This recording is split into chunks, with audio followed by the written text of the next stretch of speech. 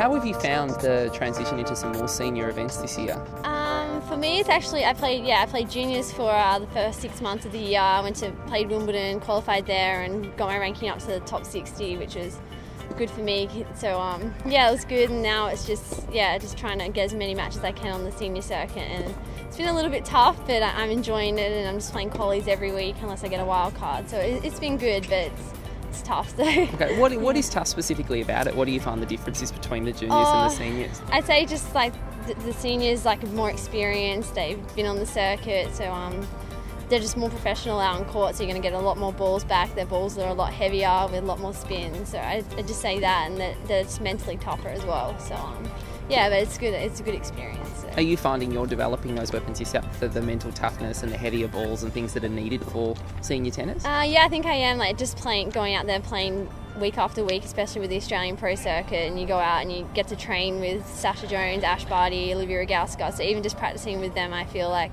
I've improved a lot, like out of sight, and yeah, I'm developing those weapons. So yeah. Fantastic. What was the experience like for you playing at Wimbledon?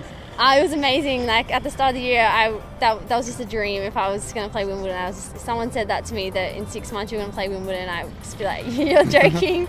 but um, yeah, it was really good, and because I qualified, it made it even more special. Uh, like out at Roehampton, and yeah, and then qualified, and then I played yeah a really good match first round. Unfortunately, I went down, but it was a good match and it was amazing. So. Great. Yeah. Good experience.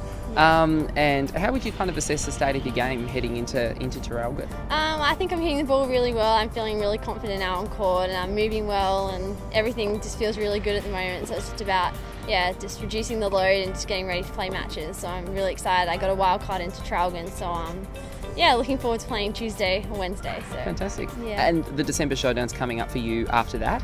Uh, will you play in the 18s as well? As the Uh, I think Cup so, yeah. So Yeah. I'm 18, so this is my last year at 18. So I think I'll, yeah, play 18s nationals. Hopefully get a few matches in before AO playoffs. So What kind of um, uh, benefit do you get out of the December showdown? Do you find it really positions you well for a strong two, like year after that? uh, yeah, I think so. I think December showdown's really good because you got everyone from Australia coming. You got 12s, 14s, 16s, 18s AO playoff, and I know when I was younger. Just coming and playing when I was like 12 and under, you come and watch the AO playoff players and you get so much inspiration and motivation from them. And I think playing on the Australian Open surface and everything, it just sets you up for a good start to the year in January. So. Speaking of that kind of group environment where everyone comes, what has this week been like for you to have all the girls around rather than training individually? Yeah, it's actually been really fun. Like we just played doubles, just doubles mm-hmm. then, and that was really good. We don't really get to play doubles a lot, and you know, we've had everyone out on the courts this week, so it's been really good atmosphere and a really good environment. It just makes you want to train harder, and yeah, so it's been really good.